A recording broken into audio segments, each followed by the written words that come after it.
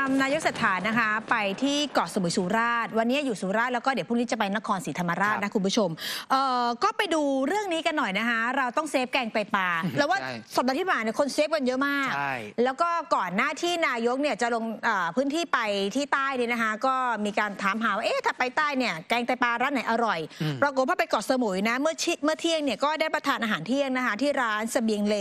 ชื่อดังเลย ที่สมุยอะเสิร์ฟอะไรคะ แกงไตปลาค่ะ คุณผู้ชม อืม นี่ไหนแล้วก็อื่นๆอีกมากมายนี่ไงจานนี่ไง อ๋อใกล้ๆเนี่ยเนี่ยนี่นี่แล้วนี่ ช็อตนี้นะช็อตการกินของนายกเนี่ยนะ โอ้โห มันเรียกน้ำยาน้ำลายมากเธอเอ้ยนี่นะ นี่ดูนี่อ่า นี่เห็นไหมก็ร่วมรับประทานกับรัฐรัฐมนตรีท่านอื่น ๆด้วยครับ นี่ไงนี่ไงอะแซกเด็กดื่มน้ำลาย คือนี่ โอ้หิว แล้วมีผักเหนาะเคียงๆนะใช่เออดีไหมนี่ท่านบอกว่ายกนิ้วเลยอะเออ ยกนิ้วให้ครัรบสชาติที่ถูกปากคือ เปล่าครับไม่ไม่ไม่ไม่เขาเขามีสิทธิ์ที่เขาจะไม่ชอบแต่ผมชอบอะใช่ไหมครับเขาอย่างอย่างที่บอกว่าฝรั่งเขาก็มีอะไรหลายอย่างที่ต่างแตกต่างจากเราไปเราต้องยอมรับได้ใช่ไหมครับไม่ใช่ว่าเขาชอบบางอย่างถ้าบอกเขาไม่ชอบบางอย่างเราก็ไปยังไงเขามันก็ไม่ได้แต่างคนต่างชอบมากกว่าที่ บอกอาหารไทยมีเยอะมีทั้งผัดไทยต้มยำกุ้งแกงมัสมั่นไก่มาที่ติดระดับโลกทั้งนั้น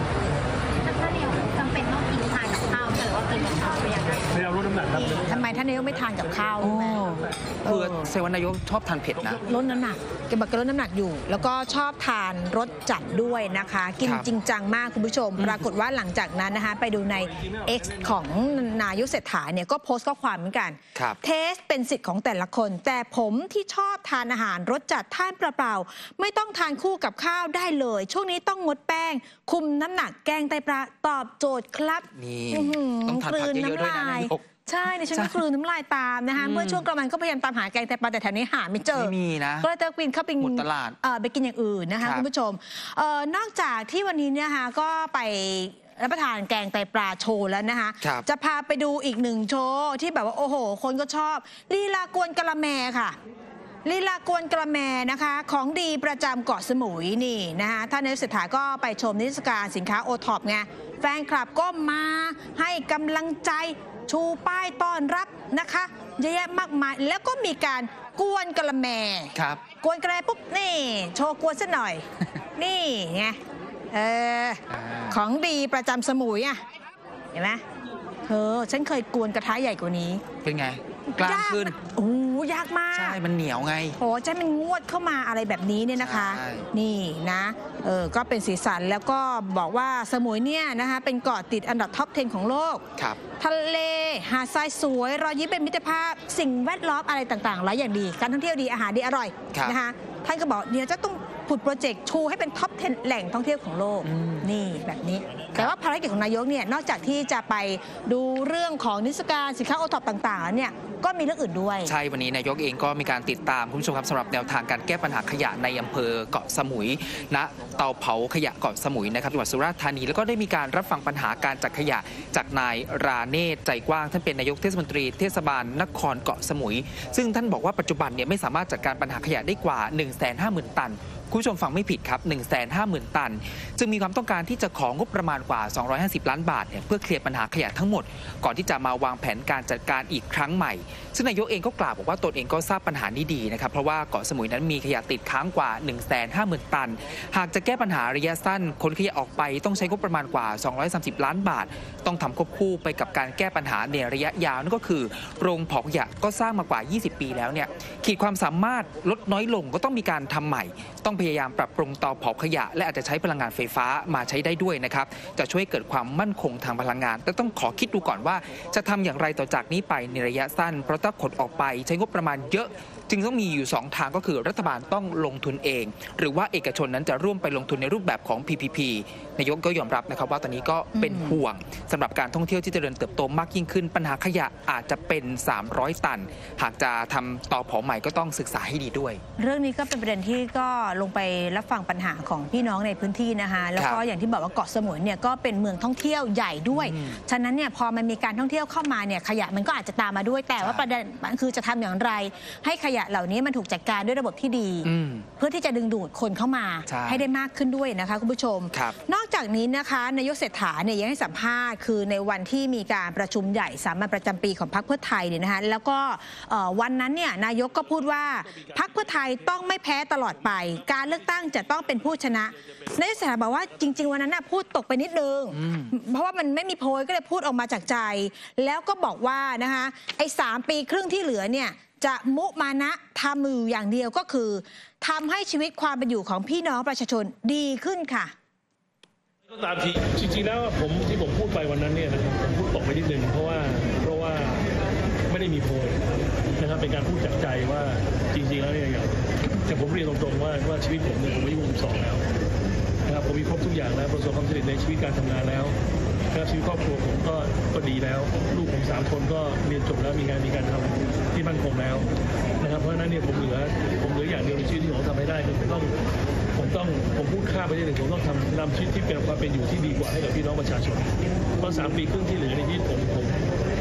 นะทำอยู่อย่างเดียวคือทำให้ชีวิตความเป็นอยู่ของพี่น้องประชาชนดีขึ้น แล้วก็หวังว่าผลที่มันตามมาคือพรรคเพื่อไทยจะได้รับการจะสำคัญในสิ่งใดชีวิตชีวิตของพี่น้องประชาชนต้องดีขึ้นเห็นไหมมีความสอดคล้องกันอืมคือนายกเศรษฐาบอกว่า ถ้าเกิดว่าทำให้ชีวิตความเป็นอยู่ของพี่น้องประชาชนดีขึ้นเนี่ยผลที่ตามมาก็คือทำให้พรรคเพื่อไทยชนะการเลือกตั้งนะครัคะบ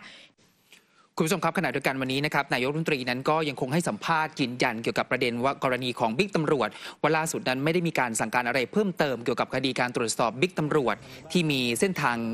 การเงินนั้นเชื่อมโยงกับเว็บพนัน โดยหลังจากวันนี้นะครับก็จะได้ไปพบกับทางด้านพลตำรวจคือเอวันนี้ทางรักษาราชการรักษาการพบตรเนี่ยก็ ลงพื้นที่ไปที่นั่น แล้วก็มีโอกาสได้พบท่านนายกด้วยอ่าใช่ครับ แล้วท่านก็บอกว่าขออย่ากดดันให้เป็นหน้าที่ของคณะกรรมการการตรวจสอบให้เป็นไปตามกระบวนการยุติธรรมครับตลอดได้มีการรายงานเพิ่มเติมมาเกี่ยวกับคดีที่ก็ยังเป็นคนกำลังเข้าติดตามอยู่ไม่มีครับ เพราะว่าจะมีคณะกรรมการท่านติดตาม 3 คนอยู่แล้วนะครับท่านท่านท่านประหลัดชิงนะครับเป็นเป็นประธานอยู่นะครับ เพราะฉะนั้นอันนี้เราอย่างที่ผมเรียนนะครับ เรา มันมันเข้าสู่กระบวนการยุติธรรมแล้ว นะครับวันนี้ผมเจอท่านรักษาการเนี่ยผมคุยเรื่องเรื่องของปัญหาของพี่น้องประชาชนเป็นหลักนะครับไม่ว่าเป็นเรื่องของ immigration ไม่ว่าเป็นเรื่องของปัญหาพนันออนไลน์ต่างๆเนี่ยเรามาคุยเรื่องนี้ดีกว่านะครับก็ก็ก็กับทักกันนะครับเรื่องนั้นก็ปล่อยเป็นกระบวนการการดำเนินการใช่ครับจนกระทั่งมีความคืบหน้าและมีการพิสูจน์ทราบความจริงออกมานะครับท่านทุกคนจะถามผมเมื่อมันมีความคืบหน้าจริงๆนะครับซึ่งตรงนี้ก็ อย่าไปให้มีการกดดันดีกว่านะครับผมเชื่อว่าทุกทุกท่านทราบดีแล้วว่าเป็นประเด็นที่สังคมมุ่งมองอยู่เพราะฉะนั้นตรงนี้ก็ไม่น่าก็ปล่อยให้มันไปตามกระบวนการยุติธรรมไปก่อนนะ คุณผู้ชมครับในขณะที่พลตำรวจเอกกิตรัตน์พันเพชรนะครับท่านเป็นรองผู้บัญชาการตำรวจแห่งชาติแล้วก็ในฐานะ รักษาราชการผู้บัญชาการตำรวจแห่งชาติ ท่านก็เปิดเผยกับผู้สื่อข่าวสั้น ๆ บอกว่า ขณะที่เข้าพบรัฐมนตรีนายกรัฐมนตรี ระหว่างประทานอาหารกลางวัน ท่านก็บอกว่าไม่ได้มีการรายงานอะไรเพิ่มเติมนะครับเกี่ยวกับคดีของพลตำรวจเอกสุรเชษฐ์ซึ่งในส่วนของคดีนั้นทางคณะกรรมการด้านวินัยของสตชอยู่ระหว่างการรวบรวมข้อมูลหลักฐาน โดยคาดการณ์กันว่าสัปดาห์หน้านั้นจะมีความชัดเจนเกี่ยวกับเรื่องการลงโทษทางวินัยครับ ทีนี้นะคะเรื่องของการทำคดีเว็บพนันออนไลน์ ซึ่งก็เกี่ยวข้องกับนายตำรวจระดับสูงเนี่ยครับหลายนายอะนะคะแล้วก็โอ้โห ไม่ว่าจะเป็นพลตำรวจเอกต่อศักดิ์สุขวิมลผู้บัญชาการตำรวจแห่งชาติ แล้วก็พลตำรวจเอกสุรเชษฐ์หักพานรองผู้บัญชาการตำรวจแห่งชาตินะคะปรากฏว่าวันนี้ก็มีกระแสข่าวออกมาว่า ทางผู้กำกับสนตอปูนก็คือพันตำรวจเอกสุรเดชชัดไทยเนี่ยยื่นหนังสือขอลาออกจากตำแหน่ง แล้วเขาก็บอกว่าเป็นเพราะว่าเครียดจากการทำคดีนี้แหละค่ะอืมทีนี้ปรากฏว่านะคะเอ่อมันก็มีข่าวออกมาอีกว่า หลังจากนั้นเนี่ยพันตำรวจเอกสุรเดชได้เปลี่ยนใจไม่ยื่นหนังสือลาออกแล้ว หลังจากที่ได้มีการไปพูดคุยกับผู้บังคับบัญชาในสายงาน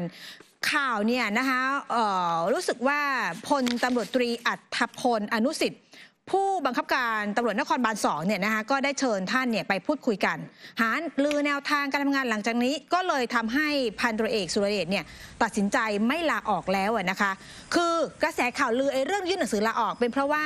เขาบอกว่าพุ่งกับสอนอตะปูเนี่ยเครียดมากอืมแล้วก็มันมีข่าวบอกกดดันไงที่มีถูกเอ่อตำรวจหลายนายที่เป็นลูกน้องคนสนิทของ พลตรเอกสุรเชษฐ์และเป็นผู้ต้องหาในคดีนี้ได้ยื่นฟ้องผู้กำกับสนตะปูลในฐานความผิดละเว้นการปฏิบัติหน้าที่ตามมาตรา